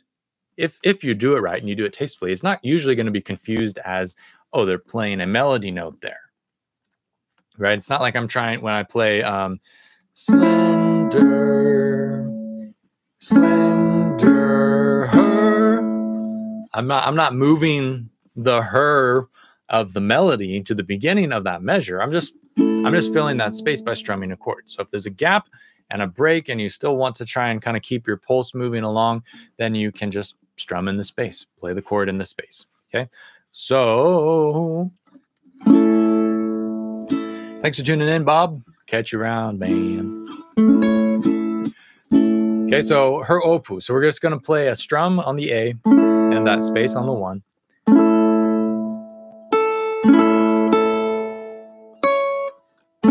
We're still over A.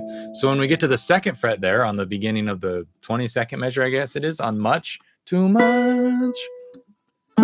We're going to play this A again with just the A, A chord, the second fret on the bottom string. And that's a little bit awkward when we go to the D because you're trying to play on the one, but the one is an eighth note. So it's moving kind of quickly to what happens next. Nice thing is that when you hold the D, you have both of your melody notes ready to go, and you just need to grab them with your picking finger, whether it be your thumb or your index finger. So um, her opu is too much annoying to me. So if we start one, two, three. Sorry, we're not we're not strumming on the four. One, two, three.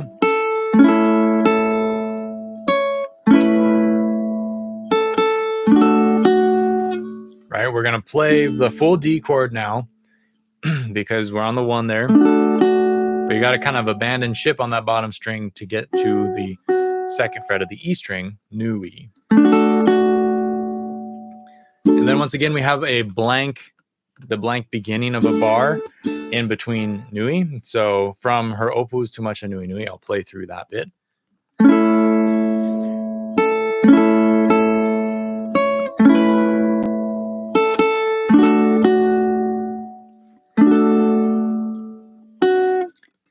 And then we go to the E7, and we're going to be trying to capture the fourth fret G once again with an E7 chord. Couple options here that I hear. Ah, boy, my voice is not used to talking for this long. We will be on the fourth fret. you can play the normal E7 around it, roll your thumb down to stop. You could go back to the bar a version that I like to use is this. So it's four, two, four the top three strings. This also has an E7 chord shape. For me, it captures maybe more of the, the vision of an E7 chord while also getting the melody note. It's kind of real, just a slick sound. And I kind of I kind of dig it. Um, so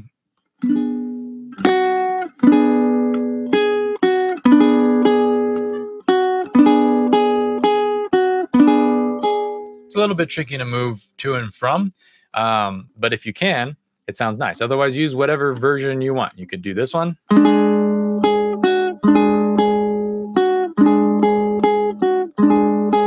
That kind of a thing. Remember, we're just trying to capture that that um, fullness of playing on the one and then let it ring through the measure as long as possible. Okay, so of all the wahine I ever did aloha, we're going to do pretty much the same thing. And then when we get to Sweet Mariah, we're moving to the open E as our melody. I would probably just strum the top bit of a normal E7 chord.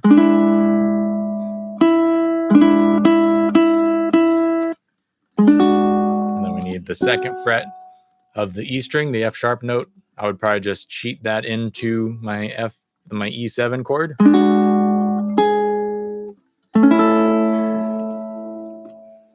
Okay. So from of all the wahine, I'll play from there.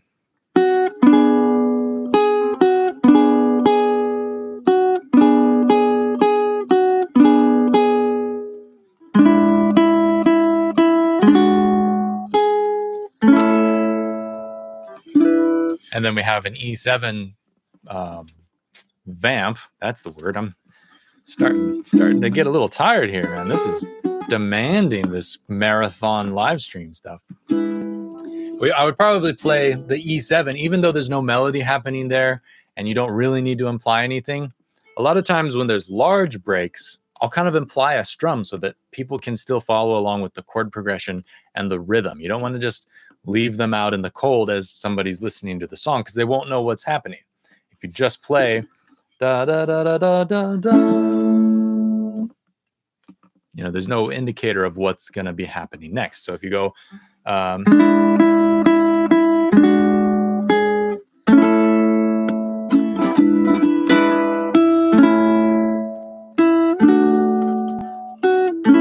Okay.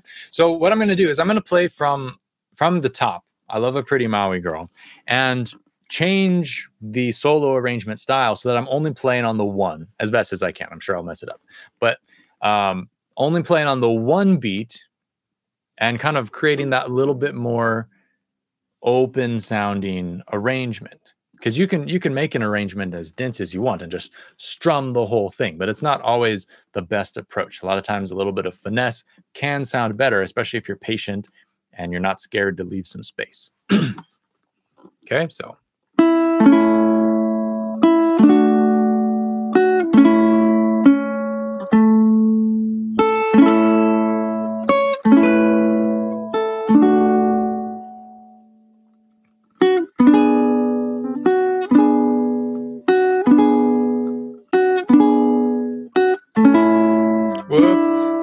seven.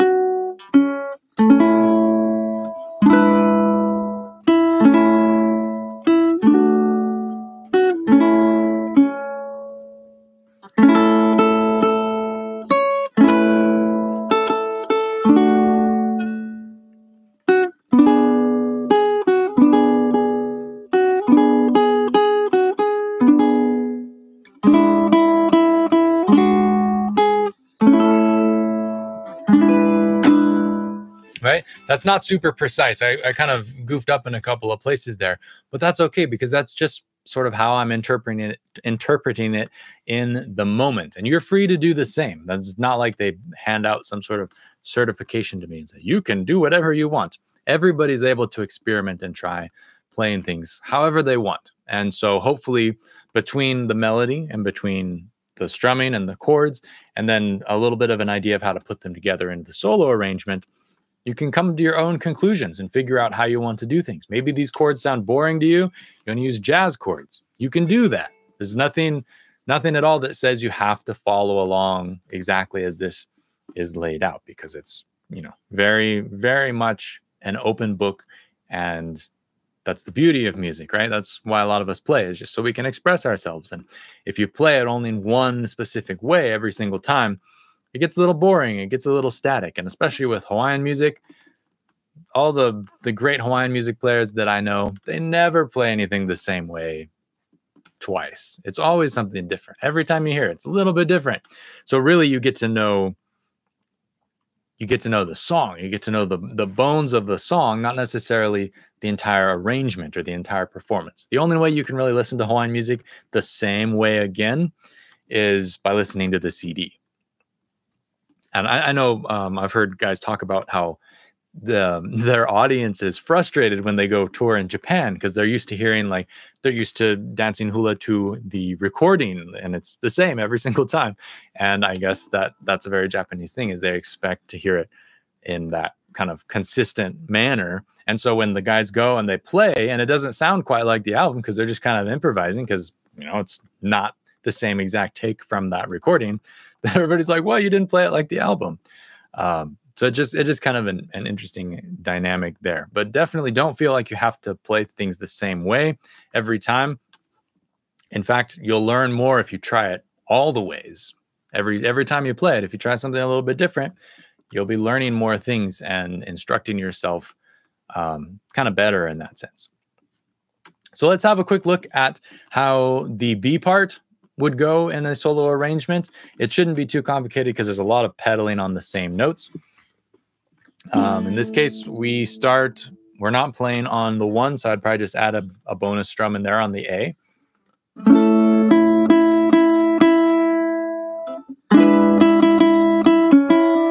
And in that case, we have Ua hikiaku no. And the, the melody that I wrote down is to go to the first fret. But in this case, I'm holding an E7. That feels way too complicated for me. I'm feeling like I want to be able to just kind of cruise and play this easy style. What I might do instead is I'm going to cheat the C sharp to the second fret and play the D note instead because it's one of those things like as I'm singing it, da da da da da da. I mean, it is a C sharp, but you could really easily, as the ukulele player playing a solo arrangement version, no one's ever going to notice. That's one of those places where you can kind of bend the rules a little bit and play a different melody, even though usually you want to try and keep the melody sort of the same. There are moments when it's less defined. You can kind of whoop, cut a corner. Okay, so my love for you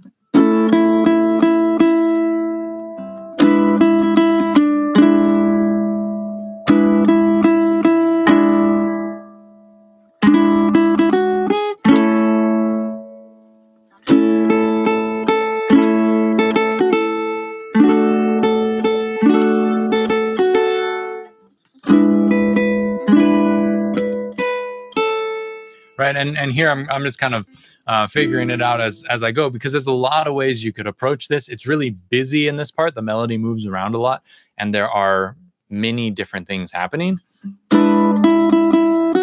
Um, from uapela no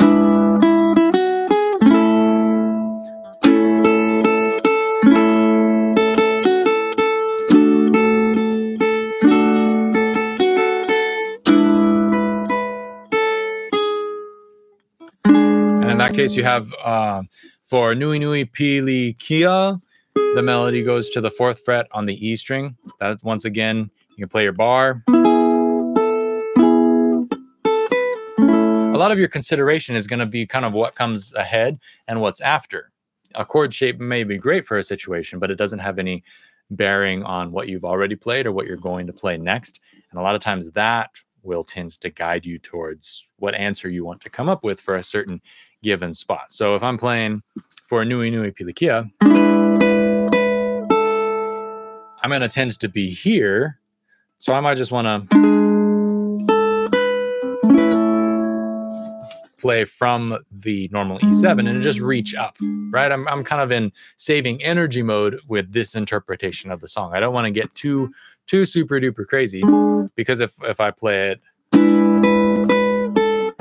I have to make a hard chord change there to play that version or same with the bar I would have to jump and make a little bit of a movement or whereas I can just kind of stay in my zone and conserve that energy and still get pretty much the same effect. All right. So that is the solo arrangement. If you have any questions or thoughts, please throw them up in the chat. Um, it's really it's really not as complicated as people make it out to be. They make it out to be kind of this scary thing, like ooh, solo arrangement, finger style playing. It's like it's so advanced. There's not much to it. It's just kind of figuring out the best ways to slam those two worlds together and how how to play them where you're not you're not killing yourself trying to actually physically play it on the instrument and you're also making it so that it's kind of musically relevant to what you're trying to express. But when in doubt keep it simple just like play on the one play on the one or sometimes you'd play on like the one and the three would be a little maybe if it's a slower song and you want to have more more fill kind of around the melody that you're playing. If it's slow this playing on the one thing might it might draw out too long. You lose the sustain of the chord. It doesn't quite work as well, and you want to play again. That's fine. Play again and play in places where it makes sense. If you have if you have a a, a bar where the melody moves I don't I don't know. Just, I'm just making something up here. But if you're playing in the key of A and you have a, a melody that goes like that, if I'm strumming and I want to play, it doesn't make any sense to not play the easier version of the chord or the more natural in sync version of the chord where the note already naturally occurs, right? If I play, if that's my melody, you know, why would I why would I go to the extra it's not really extra work because I'm already playing it. Mm-hmm. But sound wise, I'm not sure I want to emphasize that as my harmony sound. I'd rather have this. It sounds a little bigger, a little bit fuller, at least to my ears, right? Your your interpretation might be different. But if there's a place in the measure where you have a built-in note from the chord shape you're already playing, you might as well play that because it's going to be easiest. It's going to be the most consonant. It's going to sound the biggest usually for that situation in the solo arrangement.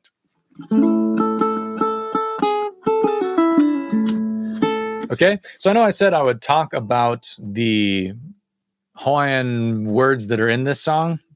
There's not a lot, a lot to know, but um, we will dig through it. Right, opu is your belly. Um, opu too much, and then nui nui is like large. Um, I've I've heard that this song is about um, a guy who gets a girl pregnant, and so Mariah, is, her opu is too much. A nui nui. Uh, Wahine is woman. Aloha is love. Sweet Mariah beats them all. And then for the B part, there's a little bit more, um, little bit more Hawaiian lines. It's it's extended phrases a little bit here. Ua hikiaku no. Um, ua is like something that's happened in the past or come to being, and hiki is can. So it's like it's yes, yes, can. Um, and then aku and no are just sort of um, aku is directional and no is an intensifier. So these things these aren't all hiki is really the only easy thing that you can translate um, literally in that in that sentence. I, I think the my love for you, hikiaku no, is like duh, my love for you. I love you. It's kind of that is sort of my interpretation of that line. Your love for me, uapela no. Pela. Pela, pela. Where's my Hawaiian dictionary? This is the kind of stuff that a um, a Hawaiian musician does all the time. Is they they're not sure, so they look something up, and you just make sure that you know, or or to re-remember what the words are. Make sure that you're um, sharing the correct meaning as you go through it. Um, Pela is like in that way, like that, thus, so. Uapela no so it's like it's been said that that's the way it is. Your love for me, that's the way it is. Um, and then once again, don't tell mama. Mama is just mom, mother, kind of a Hawaiianized version of mama. And then kuli kuli, kuli kuli. What what is kuli kuli? Um, I highly recommend if you are interested in Hawaiian music to get yourself a copy of the Hawaiian Dictionary. It is it is so important. And if you don't have that, you can go on wehewehe.org. Wehewehe.org is a really great website that's it's basically the online dictionary. All of this is on there, but I like to have the the book. Kuli kuli, noise, din, noise, noisy, deafening. Be quiet, keep still, shut up. kuli kuli. Don't tell mama. Shh. She'll tell papa. Ah, Aluli luli and Luli luli is another one. These like this kind of song, the the meaning of what's going on is like kind of kind of straightforward already. You don't think to look up these kinds of words. but it's fun. It's really it gives a lot of meaning to um to what's going on. Luli Luli agitated. She'll tell Papa aluli luli. And I imagine in that sense, the ah means like ah in Hawaiian, it can be like until, until. So she'll tell she'll tell Papa, and then he's agitated. She'll tell Papa Luli luli. Nui Nui Pilikia with me now. And once again, big. And then trouble. Pilikia is like trouble. So make make plenty of trouble with me now, or we're in trouble now. So it's it's a fun song. Um, I hope you enjoyed kind of working through it. This is this is a style that I wish I wish more songs were taught in this way where it's kind of like in sections but also very patient about about going through the song. Because when you learn something just note for note you only learn that one that one version of the song. Whereas if you learn the components to a song it kind of becomes like you know your tools your tools to assemble the song in your own way. You you have the skills and you know what the bones of the song is. It's like moving into a new house like the house is the house. That's the song. Where you put your furniture what kind of paintings you put on the wall that's up to you. You decorate it in your own way. And that's kind of you can think of the song like that. It's like you're not just going to live in an empty house or if somebody's taught you the song one way their empty house right? It's it's really nice to to make it your own change it organize things as you see fit.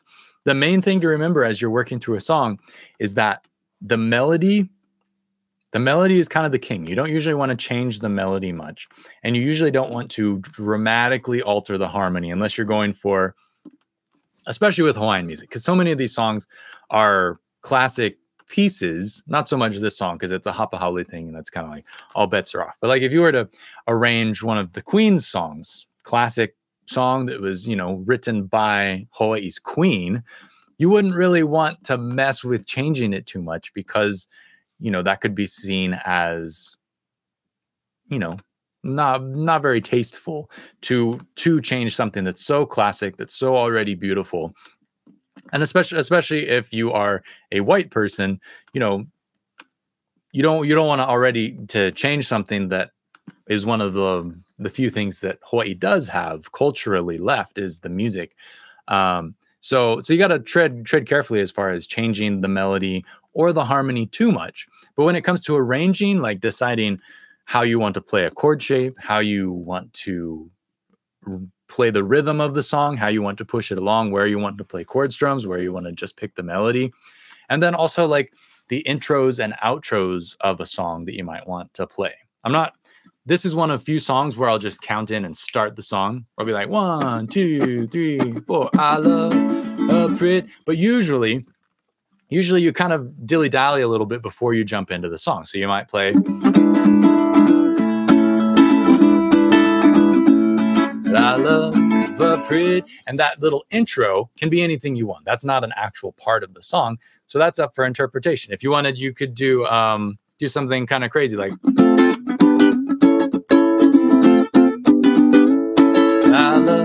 a pretty Maui girl, right? You could do that kind of a thing. You could make it um, make it more jazzy. You could go I love a pretty Maui girl. She lives at Waikapu with rosy cheeks, pearly teeth, and hair. Right? You could you can change the harmony, you can change your presentation of the song as much as you want, as long as the general harmony and the melody stay the same. All right. So I think I've reached pretty much the end of what I have to share about the song. Thank you so much to everybody who's tuning in. Um, this was kind of in celebration of my new video lesson course, Hawaiian Songs for Ukulele. There's a link down in the description if you want to check it out. It's on sale, $10 off the list price, the MSRP, um, until tomorrow at midnight, at which point it will go up to the the normal price. So if you are interested, check it out. Jump on into those lessons. There's a comment section for each lesson, so you can ask questions. There's also a forum that I've kind of started a forum section on the site for members. So if you have like a video of the song that you want to share or you want feedback on something, you can post it there, and we can provide feedback. Um, there's five songs that we work through, kind of in this style. There's a a melody video, and a chords, pr- chord progression, and chord strumming video lesson. And then there's kind of a basic solo arrangement, sort of like we did today. And then an advanced version of the arrangement where I talk about more advanced technique of how you can express the song in a more advanced way. Um, but there's there's something pretty much for every level of player, unless you're a super duper newbie. But if you're a super duper newbie, you probably didn't make it to this far into the stream. Um, so, so yeah, and and there's backing tracks. That's one of the the more exciting parts of the course. Is each song has 16 backing tracks, I think. um, and with different variations of different instrumentation. So if you want to practice picking the melody, you can take listen to the version that doesn't have the vocal. I, I recorded the um, the tracks here in my studio. Uh, it's full production. There's like bass and ukulele and some steel guitar solos, ukulele solos and stuff, and um, and really presented the songs as you know maybe you'd hear them on a on an album actually like a, a, real recording. And then I just took out certain tracks so that if you wanted to play the melody, you could listen to it without the vocal, so that you're in charge of the melody and you you hold up that part. There's a part uh, a version without a strumming track, so you you can hold up the strumming and listen to me sing and kind of get used to being the main rhythm player. A bunch of different variations, and if you need anything specific, I'm happy to um, create a custom version and upload that for you. Um, if you have any questions about the course or anything we talked about here, um, please feel free to shoot me an email, brad at liveukulele.com. And yeah, happy to answer those. Thanks to everybody for tuning in. Um, let's see. Let's see what the chat's got for our last last little bit. If there's anything I'm missing. Thanks, Tom. I love my more better too.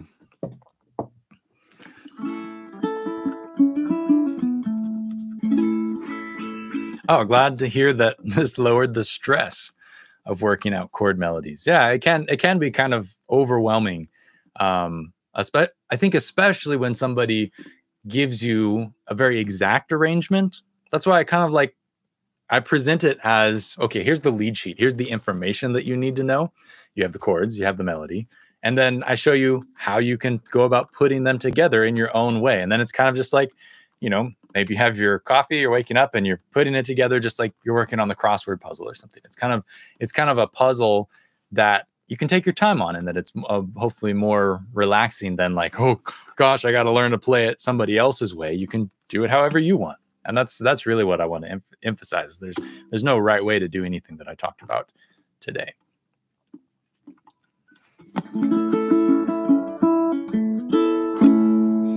All right so thank you so much for tuning in. Um, really appreciate it. I had a good time. This was fun. And yeah, if you're interested in the course, please check out the link in the description. And I will catch you all next time and in those lessons. Until then, aloha no.